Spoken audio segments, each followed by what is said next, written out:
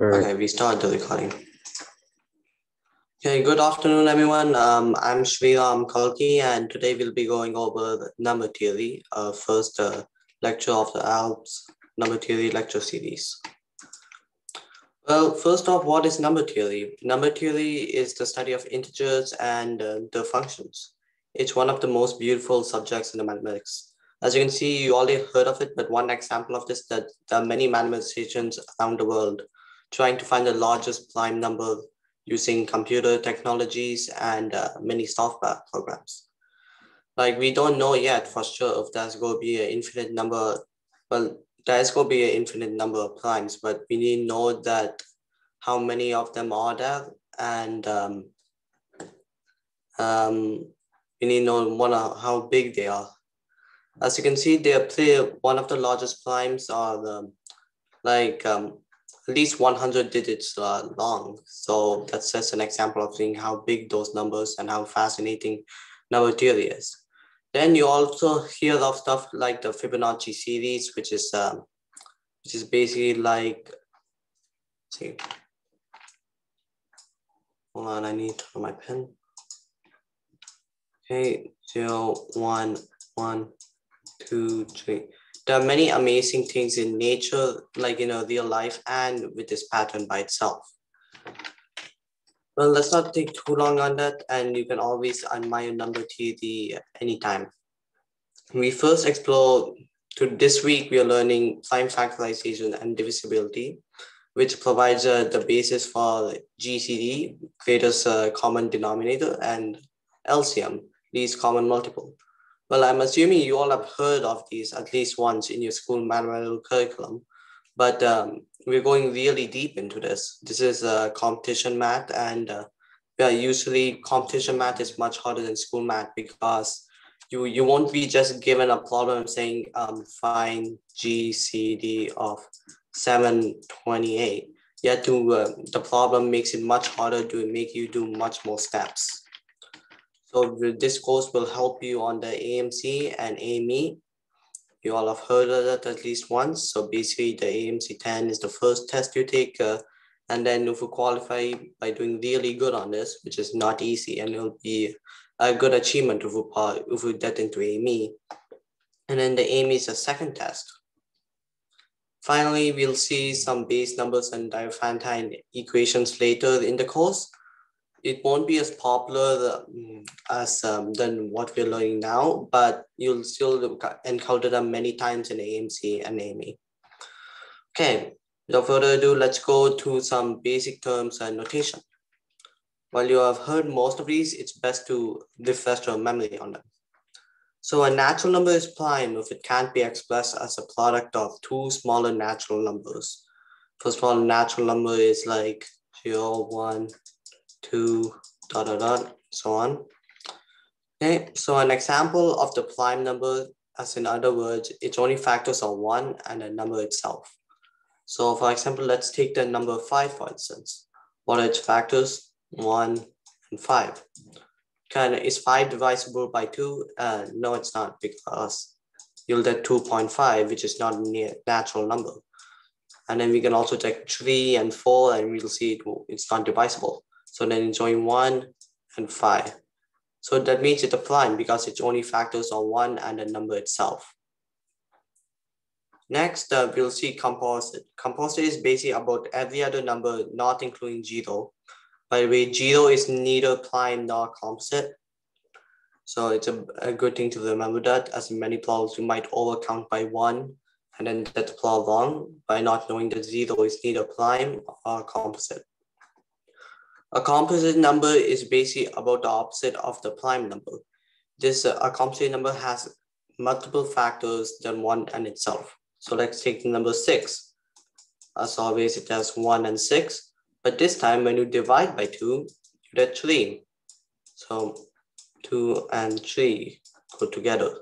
So that means two and three are other factors of six. So that means it has multiple factors. Yeah, let's see. One, two, three, four and five are not. Four and five are not the factors of six. So you can see when you divide, you won't get a, you won't get a natural number. So we have one, two, three, and four, um, four factors, four factors. A prime number only has two factors, one and five, and this has four, so therefore six is composite. Next, a multiple of a number is a num is that when you multiply a number by integer, that means it's divisible. I don't think I said it right, so yeah, it's best to learn by example. Okay, let's take the number seven. Okay, and then we'll say that note that if we do seven times two, we get 14. We want to see why 14 is a multiple of seven. Well, 14 is a multiple of seven because it contains the number and a different number, or it could be even one. But I'll see though, it could be one and then seven is a multiple of itself, so is 14. And then you can keep on going down the times table. 21 is a multiple of seven. So basically, well, a multiple of a number is basically a number when divided, when divided by another number, it, it results in a natural number. For example, 21 over 7 is 3. And then factor is kind of the opposite of that, like multiplication and division. 21, 7 is a factor. So we can say, we can say uh, factor of 21 is 7 because 7 times 3 is 21. And then finally, you may have not heard about this much, but this is called coprime. Two integers are two integers, oh, sorry. Two integers are coprime if only the positive number that is divisor of both of them is one. In other words, in other words, we'll take the numbers five and seven. We can say that these are coprime because the factors of one and five for this, the factors of seven is one and seven, and it needs to have a different number. With the and only one source twice. It needs to have a different number than one that is common. And since five is not equal to seven and there's no other factors of five and seven that means that these two numbers are coprime usually you'll also hear the same word this is a synonym it's relatively prime so relatively prime and coprime are used interchangeably and they they mean the same thing Finally, this is what you Valley hear in school math. You never, you probably won't see this notation in school math much, unless in, unless you, unless in the higher school curriculum, like um, college uh, curriculum, you'll only see it like that. So we write m, and we use this, which is basically, uh, I'll call it, um, I'll say, I'll call it a ball. Um, m ball n means if m is divides n, so, okay. and then we'll also use M bar strike, I'll say, um, when M does not divide N.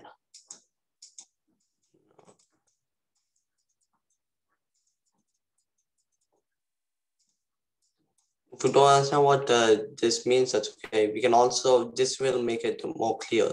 So basically you can write if m is divisible by, if m bar n is true, then we can say then n is equal to am for some integer a. Okay.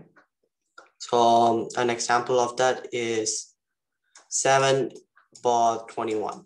This is basically saying 21, I mean the 7 divides 21 I said here. Well, without further ado, let's go to let's go to our next section. Next, we have prime factorization. You probably heard this in around sixth grade, but this is basically the root. We I call I like to call it the roots of the numbers. We have some chat. Okay, so we forgot to mention that the Justin and Chirag are the TAs for the lecture today. So you can DM them on Zoom chat. You can see DM those co-hosts and then they'll be able to answer your question. Okay. Then um, the prime factorization of a number is a representation of n as a product of not necessarily distinct primes written as n. Well, this is really hard. Uh, this looks really confusing at first, but I, I promise I'll make it more clear. So n is equal to p sub 1 to the power of e sub 1, p sub 2 to the power of e sub 2. By the way, these are subscripts. So they're basically numbers that go under, under a number. So we don't have to go like a to the power of e1, b to the e2, and this makes it a little bit easier to read. And it will go all the way to p sub k to e sub k. And what is p sub i? Well, p sub i is the ith prime. So like p sub 1 is the first prime, p sub 2 is the second, and so on. And then e sub i is the power, which is the which is how much time. So p1 times p1, p1, e1 times, basically. So so ei, e1 is the power of p1, e2 is the power of p2, and so on. And then n is equal to this. This implies that all integers well, these are primes, of course. So this means that all integers can be broken down into the prime counterparts, this, this, so on. So let's do an example of this, right? Because I don't think much of you will understand uh, how this is and we'll do better with a, with a real number. So let's go to, um, let's do 42 actually. 42 is divisible by 2, 42 is divisible by 1, we know it's also divisible by 3 and it's also divisible by 6 but we need to see how many how so it's also divisible it's not divisible by 4 though. So we know that 2 times 21 equals 42 right? And what can 22 21 be broken down into? That's right 3 and 7 so 2 times 3 times 7 is equal to 42. So 42 is our n, and then we can also write 2 as this, where the power is 1 because 2 to the power of 1, anything to the power of 1 is always going to be the same number in the brackets. Then 3 to the power of 1, 7 to the power of 1.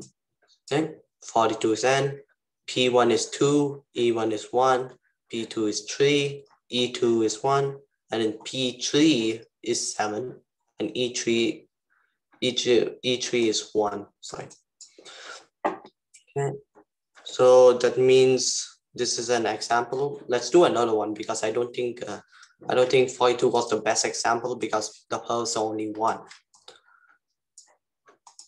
Okay let's do um how about 24 okay 24 is equal to 2 times 12 and then 12 can be broken into 2 times 6 so 2 times 2 times 6. And 2 and 2 are prime, so we can't break that down further without using ones. And ones are ones as the one is not prime. I forgot to say this. One is not prime. And it's also not composite either. So it's one and zero, zero and one is not prime and not composite.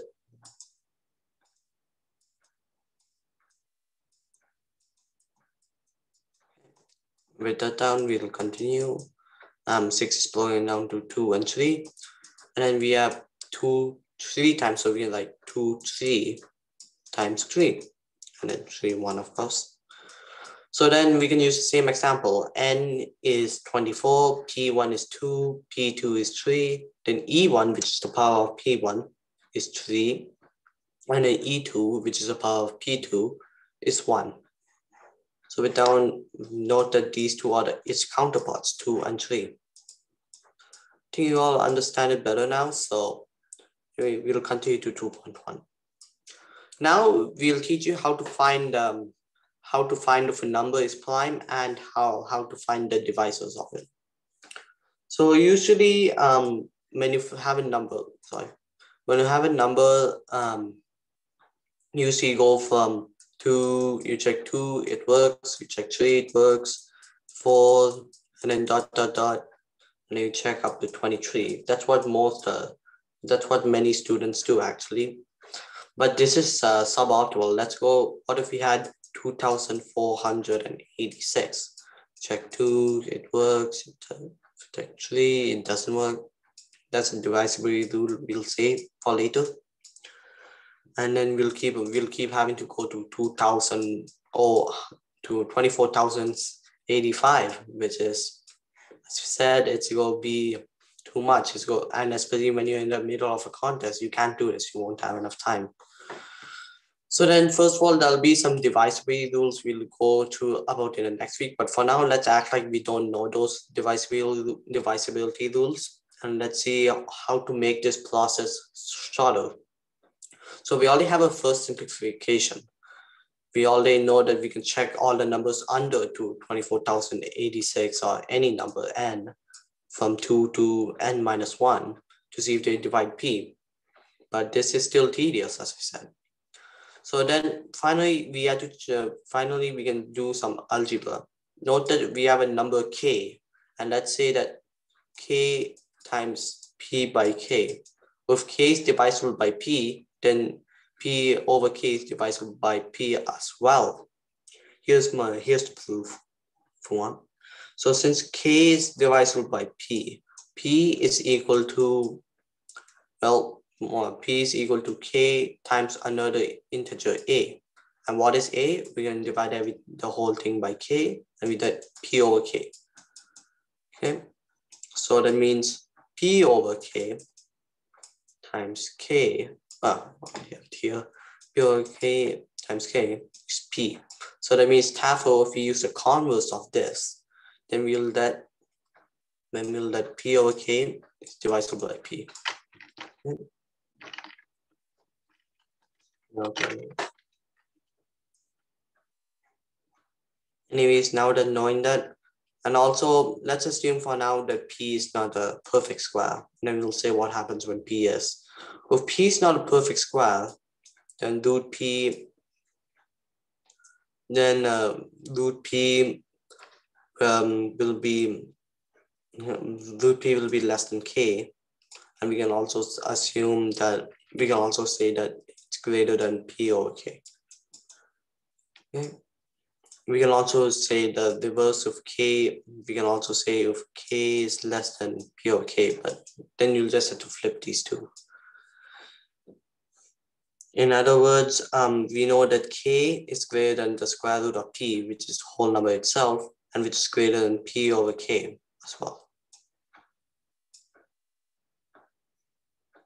then we can also say that, so for example, two times three, two times three is six. Six is, hmm? okay, I don't know what happened. Okay, two times three is six. Then we'll that, then the square root of p, we can say it's between two and three because two squared is four, three squared is nine. And then to be approximate, we can say it's like 2.4 to 2.5 uh, then, that, then we'll say k can be 3, and then p is 6, 6 over 3 is equal to 2. So 3 is greater than root 6, greater than root 2. What does this mean? Then um, if p over k is prime, then if, since p over k is 2, it means p is composite because of p because when you multiply 2 times k, k is 3 and we know that 6 is composite. So let's uh, let's try this out. This, this was just an example. And then for square root uh, like 25, we can say that 5, 25, and 1 are the factors. We can say that, we can, and then if there is, um, if it is square, then we'll just have to use greater than equal signs. That's why we had to sort them out. And the greater than equal signs, you, you probably already know them, which is basically that k can be equal to square root of p, and it can, it can also be greater than square root of p. So a final simplification, we don't know how else to simplify it with other than using divisibility rules. So instead of checking all the primes from 2 to p minus 1, we only have to check from 2 to the ceiling of square root of p. Yeah, so these notations are, are called ceiling are called ceiling functions. And then for example, if we have 5.5, the ceiling function takes the number that's greater than greater than this, that's the least integer greater than this number in it. And then the least integer greater than 5.5 is 6. 7.5, the least integer greater than 7.5 is 8. So for example, if we have root 6, which is, then we have to check all the primes from 2 to 3 because the ceiling of root 6, which is around 2 but less than 3, is 3. So then let's try finding all the primes of 24. Okay. 24, square root of 24 is about 5. So we have to check all the primes less than 5 or equal to 5. 2, 3, and 5 are the only three primes less than or equal to 5. 2 is divisible by 24. Then 3 is also divisible by 24. So what does that mean? Since 2 is not either 24 or 1 and same with 3, that finally means that the finally means that 24 is composite. Now let's go to a first example. Okay, prove that the 23 is prime. This is pretty straightforward actually. So first we do square root of 3. Okay, first we have to do square root of 3. Then Uh, 23, we find that the ceiling of square the square root of 23 is 5. So we have to check all the primes less than or equal to 5 once again. 2 is not divisible by 23. 3 is not 2, 2 is not, 23 is not divisible by 2. 23 is not divisible by 3 either. And 23, of course, is not divisible by 5. So what this means that 23 is prime because we checked all the numbers from 2 to all the numbers less than 5 that are prime. And since we already proved that we only had to check all the numbers from, from the square root, the ceiling of the square root of the number, therefore the 23 is prime. Okay.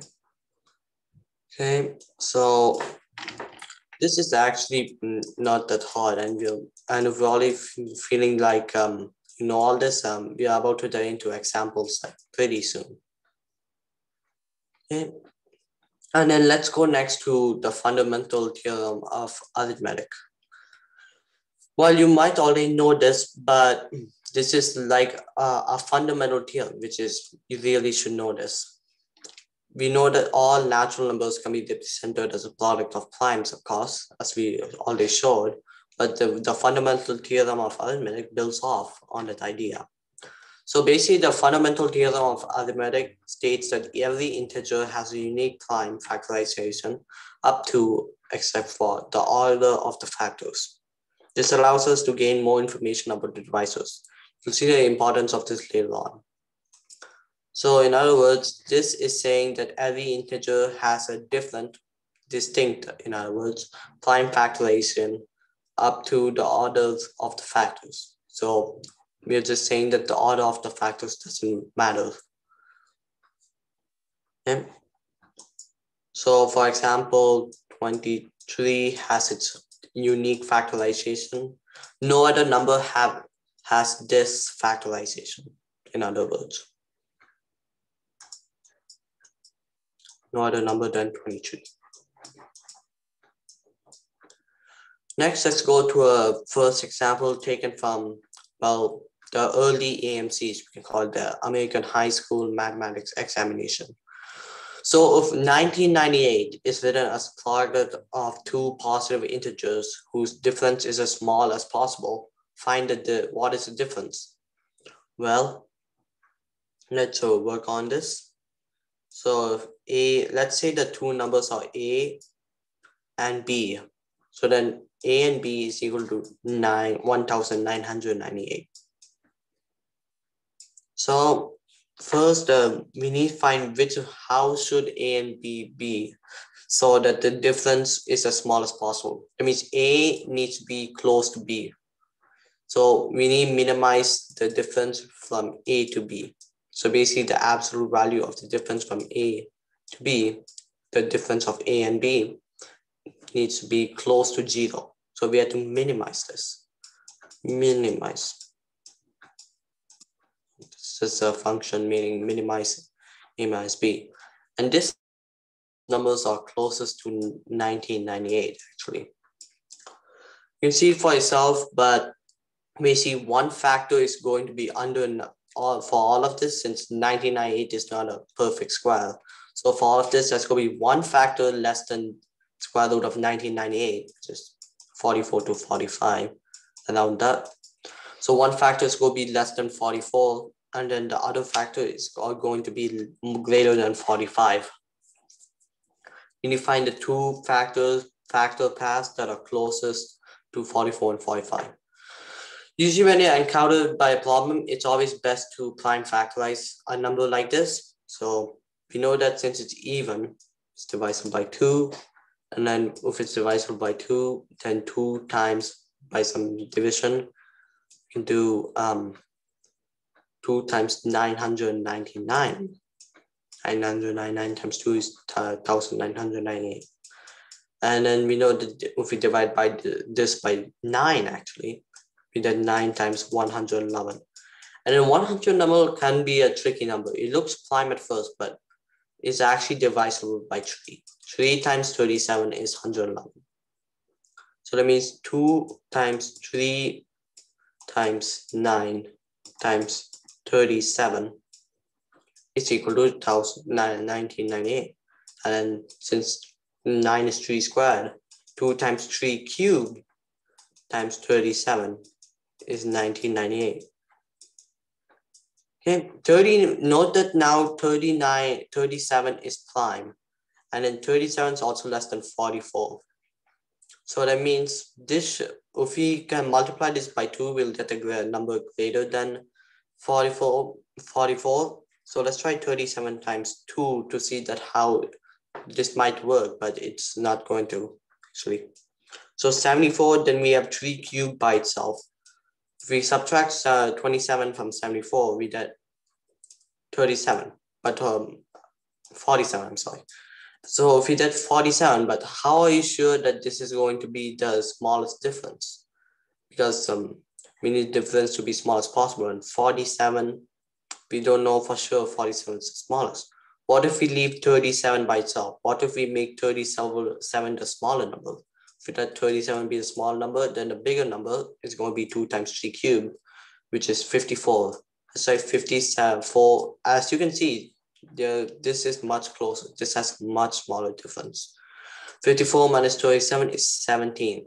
And then we know that if we even, there's no other way, even you can try for yourself, but there's no other way to the difference smaller than 17.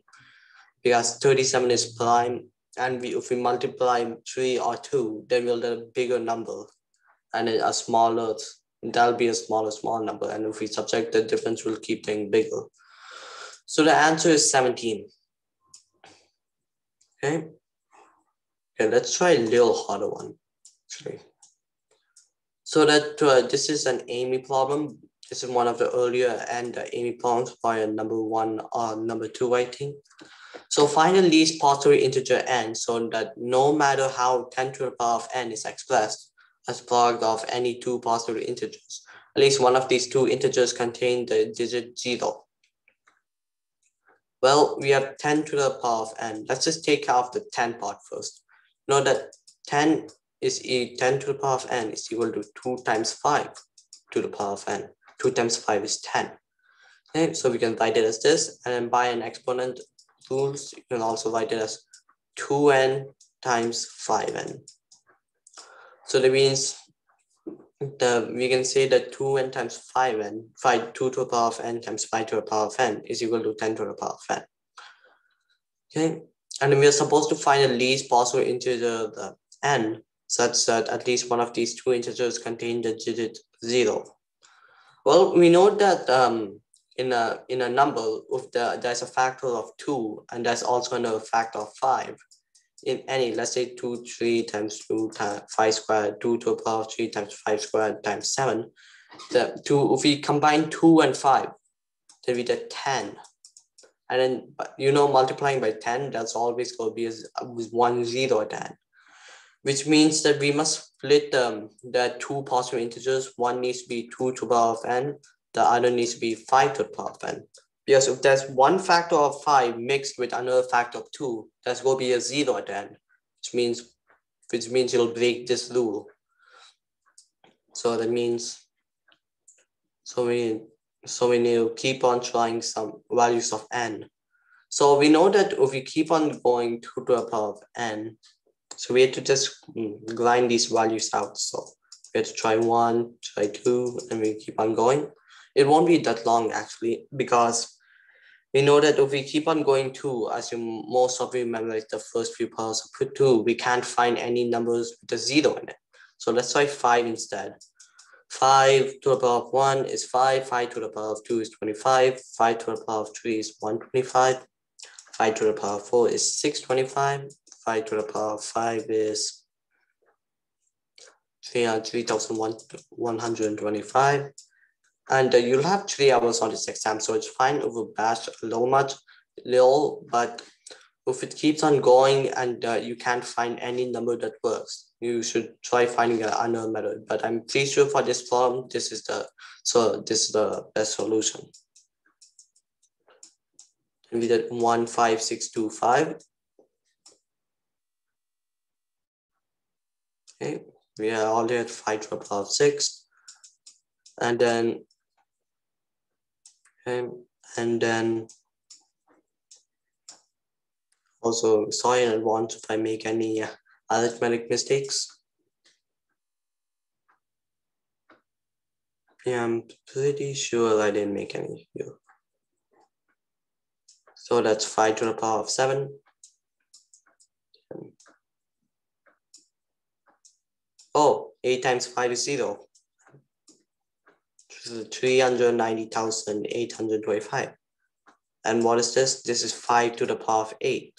5 to the power of 8, when 5 is, when 5 to the power of 8 is equal to 390,625. And then 2 to the power of 8 is 256. Note that there's a 0 here, which means 8 is the smallest n number value of n such that such that one of these two integers contains a zero. Even if we split apart the two and five factors, even if we split apart the two and five factors, if we do five to the power of eight, there's still to be a zero in the number. And then we know that for any number less than eight, that five won't have any zeros and two won't have any zeros either.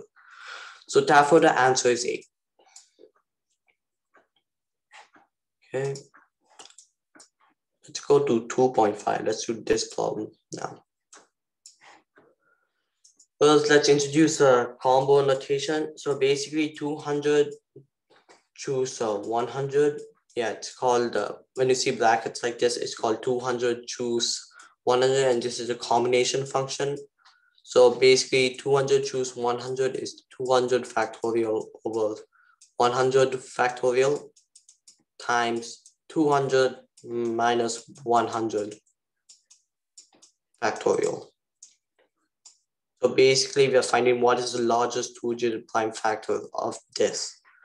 And factorial notation, you know that 200 factorial is equal to 200 times 199 times 198 all the way to uh, down to 1.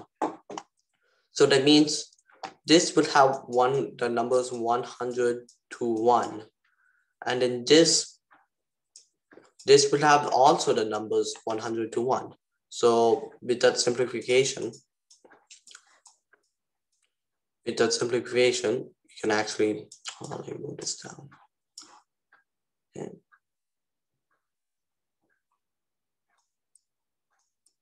okay, with the simplification, we can write, we can write this as 200 times 199 times 198 all the way to 101. And then this will be canceled. Okay. And then we'll have 200 minus 100, another 100 factorial left. So this is the best for now. We can simplify without having to write all this out. So let's see what the question is. What is the largest two-digit prime factor of this, basically? So we need to find the largest two-digit prime factor. So we know that 97 is a factor of this. That's going to be one amount, or that's going to be 197 in the denominator. But we also know that 97 times 2, 97 times 2 is going to be 194. And 194 is going up here. So that means both factors of 97 are going to be cancelled. That means there's going to be no factors of 97 in the resulting number. And we also know that 97 times 3 is more than 200, so that won't be a 97 times 3. And if we can keep on trying for larger primes, we can see that there are no, um, we can see that it's in the numbers. So basically what you're trying to do is uh, that we're trying to find for the small, the biggest two-digit prime factor such that there's going to be two appearance of this. There's going to be two appearances of that number in the numerator and only one. Because let's say that we have like 30, 37 times 37 in the numerator. There's going to be two factors of 37 in the numerator, but there's only going to be one factor of 37 in the denominator, for example. Then these two will cross out and there'll still be one factor left. as an example. So in other words, we can say if n let's say if A actually, let's say if A is going to be the largest two-digit prime, prime factor, basically we need 3A.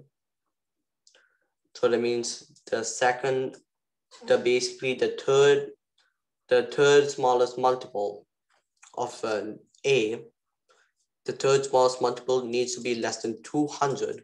So it can be shown here. So 3a must be less than or equal to 200. Then we also need to find the second multiple. You know, we need to know that the second multiple needs to be greater than 100. So basically if a is, let's say 37, then the second multiple of a, 37 times 2 is 74 will not work because 74 is not greater than 100.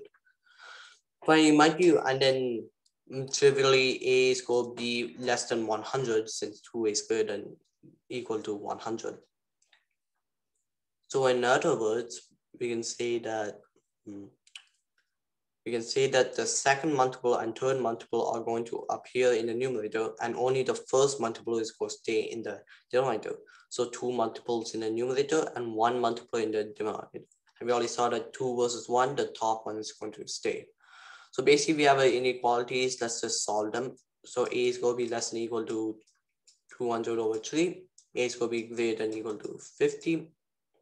So therefore, this is around, um, say this is around 66.66 dot dot dot.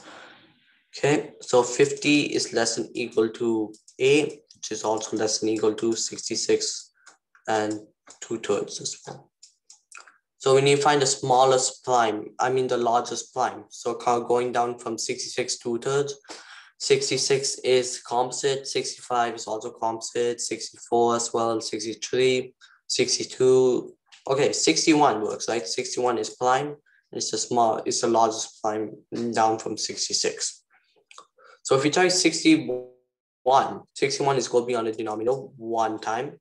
Then 61 times 2 is going to be on the numerator and 61 times 3 is also going to be on the numerator. So mm, these two cancel out and there'll still be one 61 remaining, which is the largest two-digit prime factor. Therefore, 61 is the answer. Also, if you have any questions, this might be a little bit confusing at first. This might be a little confusing. So you can ask the TAs in case you have a problem.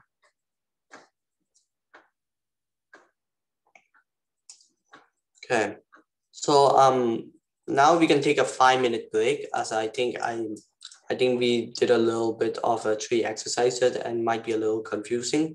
So you can take this time to uh, ask the TAs, I think um, definitely, uh, definitely cooler people and they will, they can help you on these questions if you don't understand anything. I think uh, a few of you might be still conflicted on what the, this notation means. So we, we'll take a small break.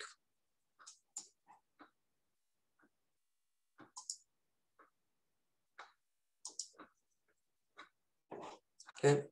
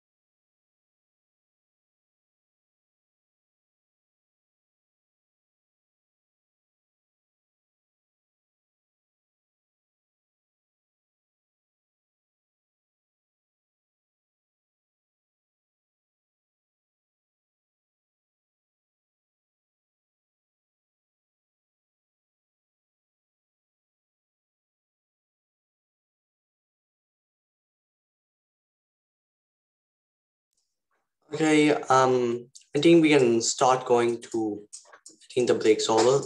So um, we can. We can start talking about the, we can start talking about the number of divisors. Um, if, uh, if any of you came now, we, we just started the proposition 3.1. Okay, so let's start say finding how many divisors there are. We only talked about whether a number is prime or not, but we never talked about how many divisors there are. So basically, if a number n has the prime factorization d sub one, e sub to the power of e sub one, so on, the number of divisors, number of divisors n has is you call this this is a Bézier function e sub 1 plus 1 times e sub 2 plus 1, so on, e sub k plus 1. Now let's go to, let's first do an example and then, um, let's first go through an example and then I'll say the, the proof. I'll walk through the proof. So let's say we have 24, we know that it's equal to 2 cubed times 3, 1.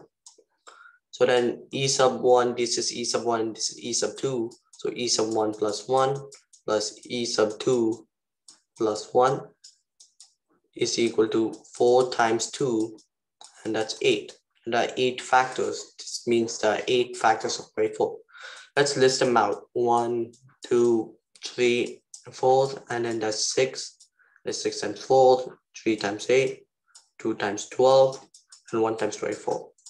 1, 2, 3, 4, 5, 6, 7, 8. 8 divisors. So as we can see, this works. But we can't just say for a number that just because it works doesn't mean it's this is true for everything. So we have to do this thing called proving it. And proving is very important when you're later in um, Olympiads. So it's best to learn proving as um, in a well, Olympiads like the USAMO, you'll be asked to prove the answer. You can't just write a random number down and uh, expect to get points. You have to show you have a proof work. So proof is any divisors of n is equal to p1, we'll just call this, is of the form p, p sub 1, a sub 1, a sub 2, and then oh we'll also say this was small typo. This is p sub k to the power of a sub k. For some a sub 1 and this is the in function. That means a sub 1 can be either 0, 1, all the way to e1. a sub 2 is going to be either 0, 1, all the way to e sub 2, and so on and so forth till a sub k is can be either 0, it can be either 1, it can be either 2, it can either be up to e sub k. And let's say why. Why? Because if, uh, if it's going to be a divisor, that means we must know that each exponent it should be less than or equal to e sub 1. If a sub 1 is going to be greater than e sub 1, let's, uh, let's take out that case. If it's uh, greater than that, that means like let's say 2 to the power 4, but then now n is equal to 2 to the power of 3. And let's say we have 2 to the power of 4, 16. This is 8. 16 is not a divisor of 8, of course. 8 is a divisor of 16. So this means that if the exponent of one prime is greater than exponent in another uh, in the other prime, then this number is not going to be the divisor. So therefore, a sub 1 must be less than or equal to e sub 1. And we can say this a sub 2 must be less than e sub 2, and then so on. a sub k is going to be less than its respective e sub k, less than or equal to. So it can still be a factor. So that means that total of 0, 1, all the way to e sub 1. So that means e sub, that's a total of e sub 1 plus 1 can be just e sub 1 because we have to count 0 as well. So that means um, there's going to be e sub 1 ways to find the divisor for e sub 1. And then does the total of e sub 1 choice e sub 1 plus 1 choices for the power of a1. So it can be 0, 1 all the way to e sub 1. And then for e sub 2 plus 1 choices, because for a 2. And then so on for e sub k plus 1 choices. So let's write that again. It's a little bit messy.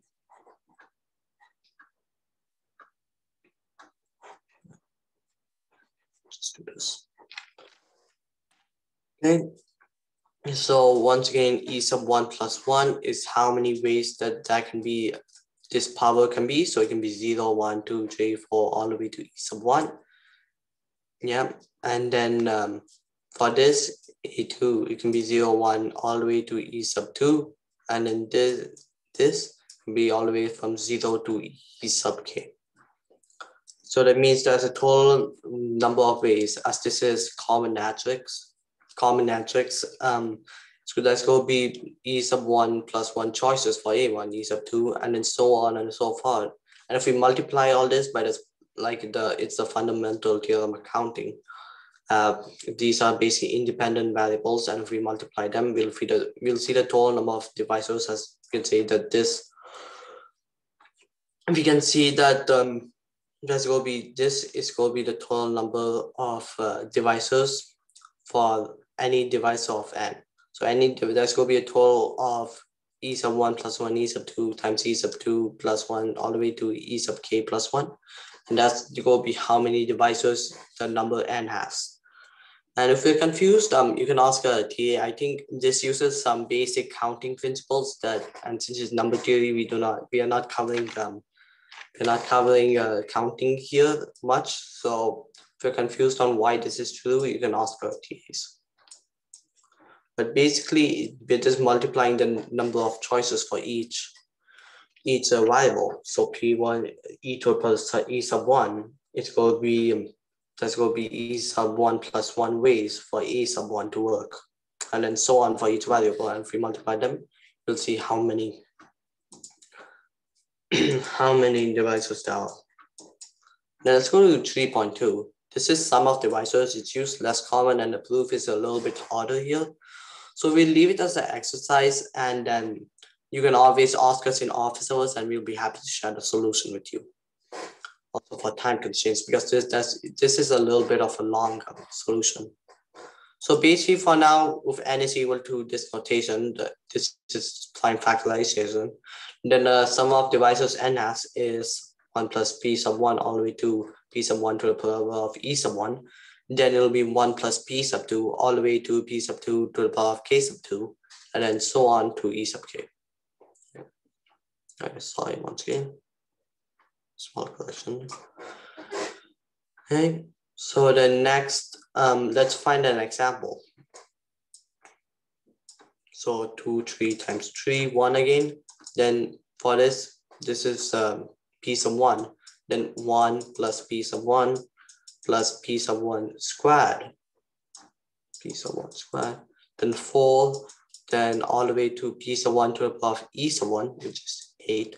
And then same for this, 1 plus p sub 2, and then 1 is the e sub 2, so we don't go any further. Then if we add this up, 15, and then we did 1 plus 3, this is 4 and then you get 60. The sum of all the divisors of 24 is 60.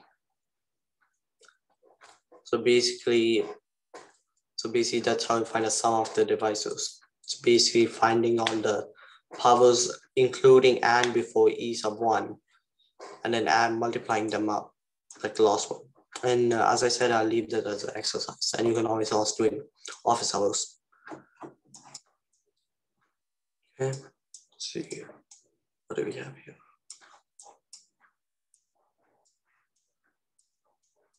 Yeah.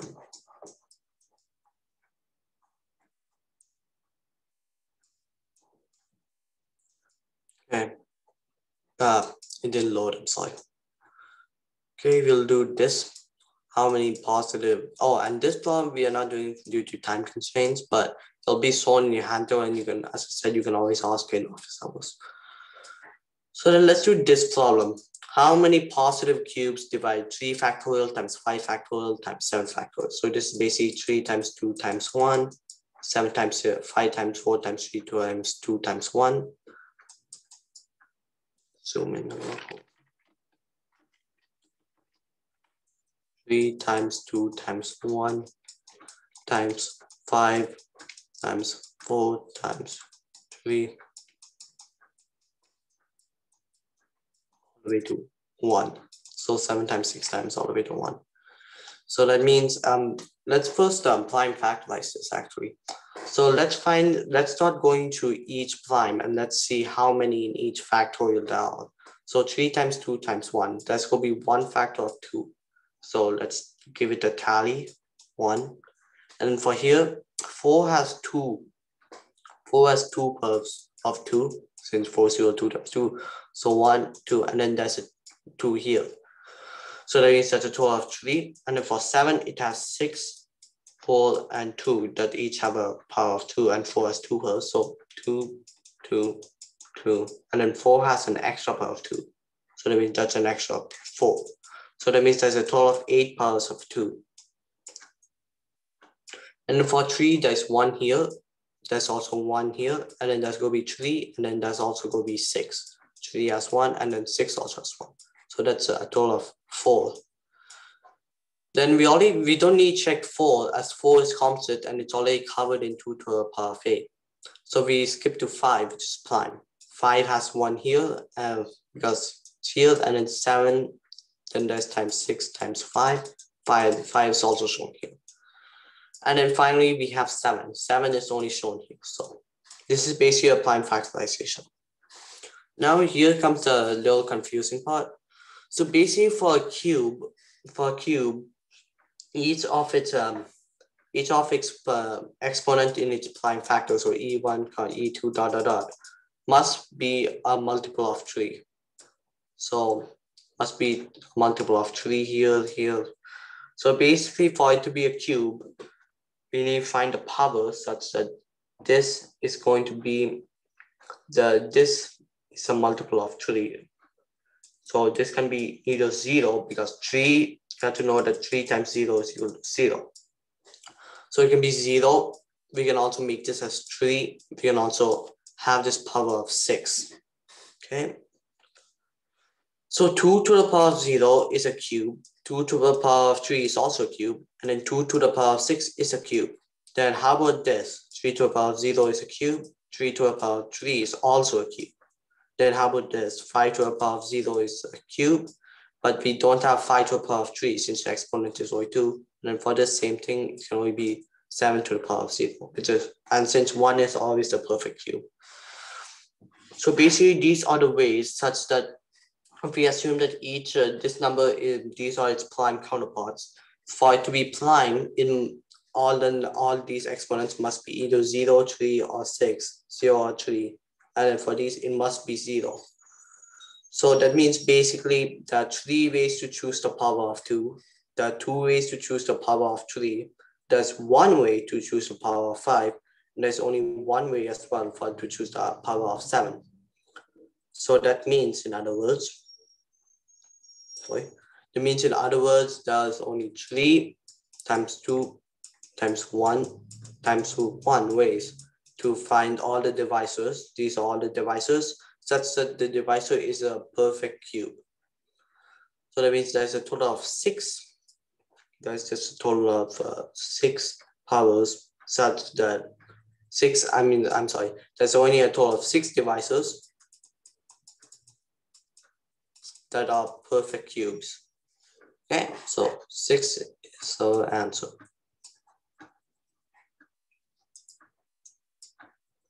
Let's go to the next one. Let n be the smallest positive integer that is a multiple of 75, and that's exactly 75 positive integral divisors. Find n divided by 75. So n must be equal to 75 times x right? Because it's a multiple by definition. Actually, let's set this as and is equal to 75 times a. And then we always prime factorize. So prime factorization will make it really helpful as it says divisors. As it says divisors. So when you hear the word divisors, it's always good to prime factorize.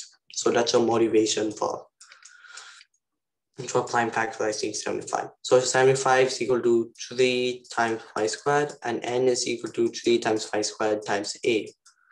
So now we know that there's going to be exactly 75 possible divisors of n, okay, including one and self.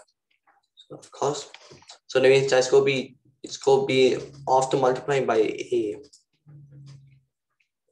Let's say that this is going to be 3a. Okay, let's do E1 actually.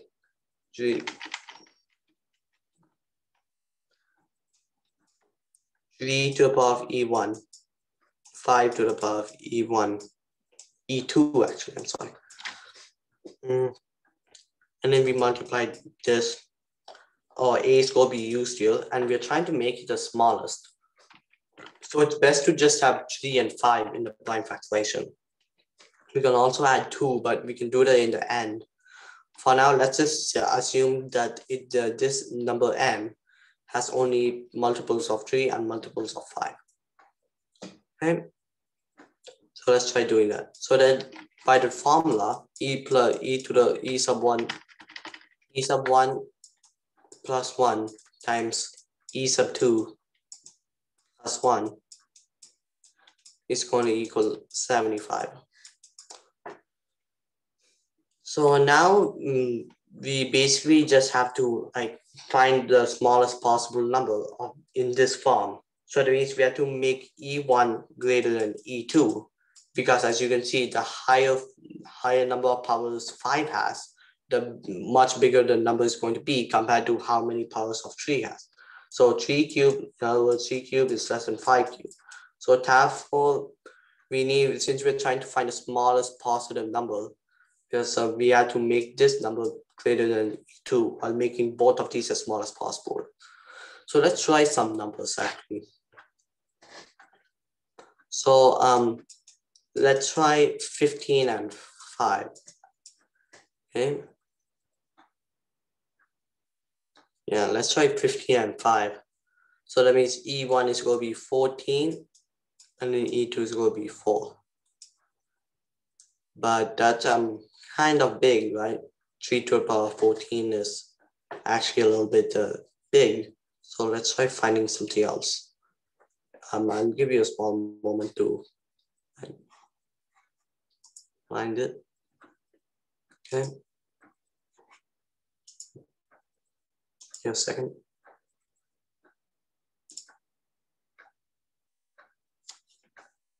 Sorry, there's uh, something in the background.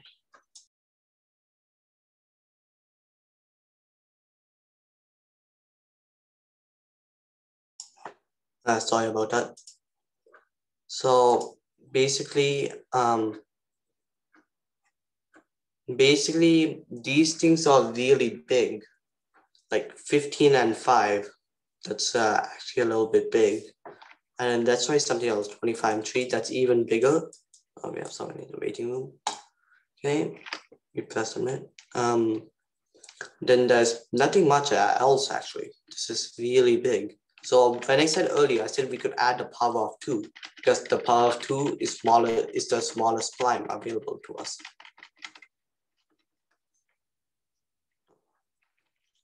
Okay, so we can say that this, let's let, okay, let's let A be a power of two and three and five as well. So we can say two to the power of E1, three, three to the power of E2 times 5 to the power of e3 is equal to be n. Then e sub 1 plus 1, e sub 2 plus 1, then e sub 3 plus 1 is going to be equal to 75. This looks easier to handle, right? They look, since that's going to be three, three, three different numbers, the numbers can be even smaller. Once again, let's try 5 3 and 5 this time. Just 3 times 5, 50.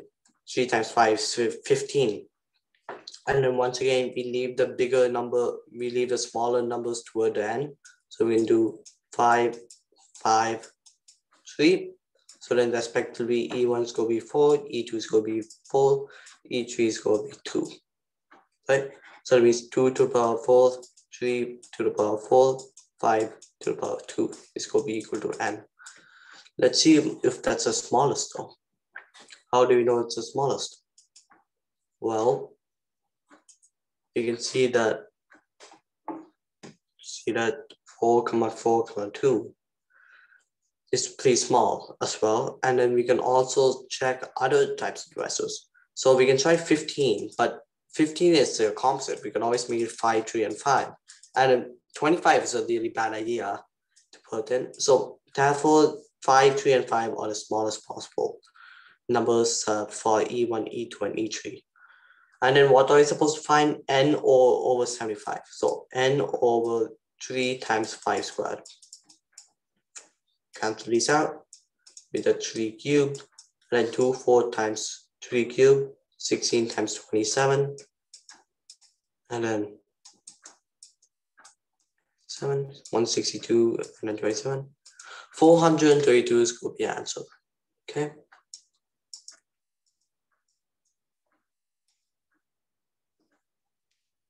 Okay. And then uh, let's see if that's going to be, I want to see how if that's any more clearly. So there's going to be one more, um, it's going to be a last example for today. And uh, this is from the 2017 AMC 12B, and this is from the later end. And this has some combo as again. So you obviously need help, you can always ask the other TAs. The number 21 factorial, which is a long number, has over 60,000 positive integer divisors. One of them is chosen at random. What is the probability that it's odd? So as always, we find the number of powers of each prime. And let's use this thing called Legendre's. I think I pronounced it wrong, but there's this formula called Legendre's that make it easy to find the prime factorization, prime factorization of this of a number. So basically Legendre's, sorry, oh, Lagrange, yeah, thanks. Um, It's Lagrange actually. So that's how you pronounce it. So the means Lagrange basically says that let's say we have a prime two, then then the total number of factors, that's the total number of powers of two in the number 21 factorial is going to be the number, the resultant of 21 divided by two and the floor of it. I'll cover the floor in a minute. And then 21 divided by 2 factorial plus um, 21 divided by 2 to the power of 3 and so on to 21 divided by 2 to the power of n such that 2 to the power of n is going to be less than or equal to 21. So let's cover the floor now. So the floor of like the ceiling we discussed earlier, the floor is basically about the opposite of the ceiling. So basically the floor takes the least into the greatest integer less than 5 point less than the number in these brackets. So that means the least integer the, the greatest, I'm sorry, the greatest integer less than 5.5 is going to be 5. The greatest integer less than 7.5 is going to be 7. And as you can see, there's a reason why they're called floor and ceiling. I think this will make sense. Anyways, getting back to the question.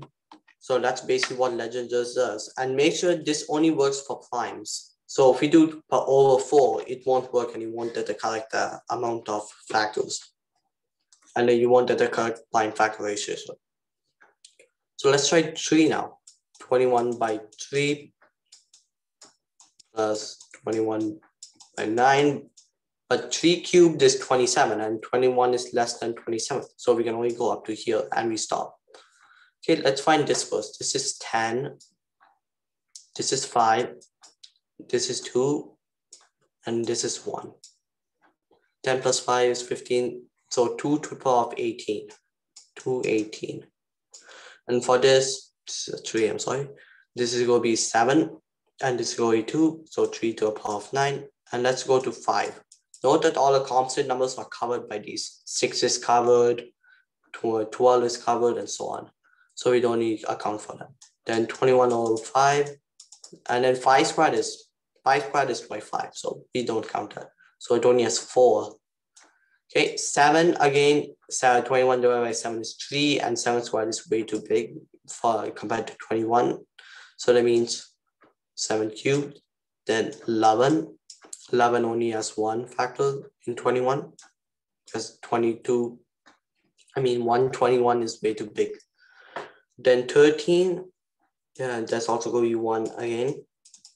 Then 17, 19, and finally, there's no more time. So this is basically a factorization. This looks a little bit tedious, but it'll get easy in a moment actually. So now let's go on. One of them is chosen at random.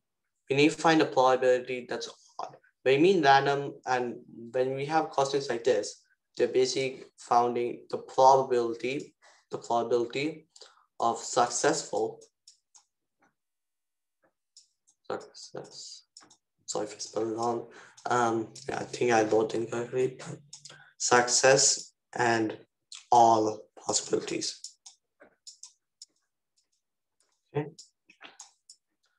So that's basically the probability that's short. Success means what's applied that's short. This is going to be a success. And we have to find out of all the divisors, all div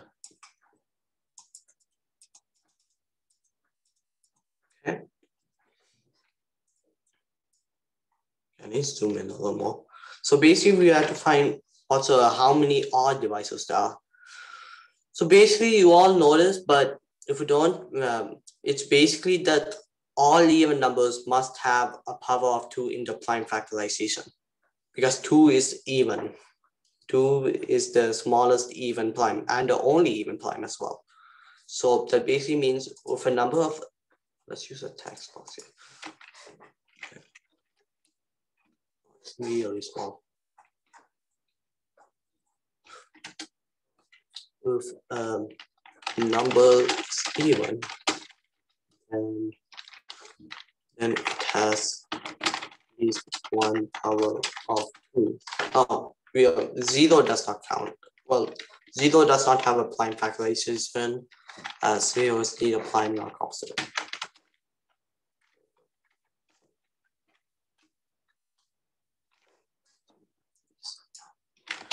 and has at least one power to prime uh, factorization. Honestly,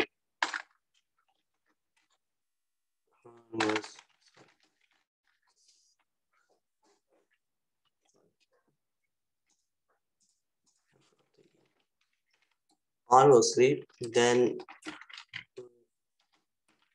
positive number number least one power of two. And number is even. And then we can also negate this and say that if the positive number does not have at least one power of two in its prime factorization, then the number is odd. Okay. So we, we want the number to be odd, right? So therefore that means there should be no, so there should be no factors of two. So there should be no factors of two here. Okay, so that means we if we find now this is going to be the important part of the problem and you have to the, figure this out to enable to be able to solve this. But you can say that if a number is going to be a divisor of this, if a number is a divisor of all this, then the number is going to be odd. Furthermore, if if we find all the number of divisors of this number, we'll let this equal A. We find all the number of divisors of A, that's going to be all the odd number divisors of this whole number, which is n. Okay, and here's the reasoning. So there are no powers of two here, actually. All these numbers are odd. Furthermore, 3 to the power of 9, A is a divisor. A a, I mean, A is a factor of, let's call this number. A is a factor of 21. Yeah, 21. Oh, sorry. To A is a factor of 21 factorial, which is this number once again. So therefore, if we find all the factors of A, that means all these factors of A are going to be factors of 21 factorial, and all those factors are going to be odd. So we find all the factors of A, which is 5 plus 1, 4 plus 1, 3 plus 1, plus 1, and I will this for 4. Out of all all the factors of to this 21 factorial, which is going to be the same thing, but 18 plus 1, 9 plus 1, 4 plus 1, and dot, dot, dot, and these all cancel out.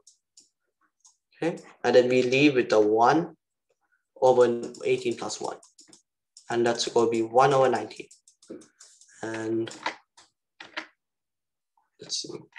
Is that a correct answer there? Yep, I'm correct. Um, so that means uh, I didn't make any any uh, sillies. So that means 1 over 19 is going to be an answer for this. For example, 3.7, 2017 AMC 12B, the answer is going to be 1 over 19. Basically, the motivation for this point is to use the new for, I forgot the pronunciation, I'm sorry. So it's uh, Lagrange's.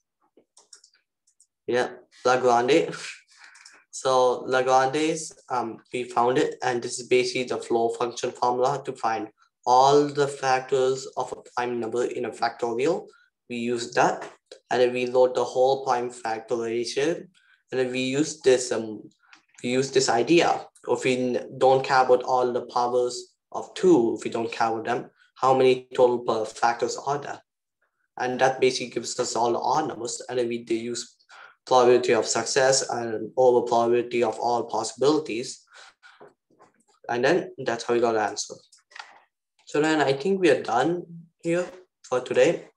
Um, I hope you all enjoyed the lesson and then and then I think we'll post a handout a bit soon. And that's going to be like one more example we weren't able to cover due to time constraints. And um, that's also be a problem set for you to finish. And once again, you can always chat, or chat with us in office hours and we'll be happy to help. Thank you for coming to today's class. And I'm sorry if I made a mistake, any mistakes, which is probably a lot. But if you want, again, you can always see the recording, which we'll post into a, which we, we will post. Okay. So you stop screen sharing? Yeah, go ahead. I stopped the recording.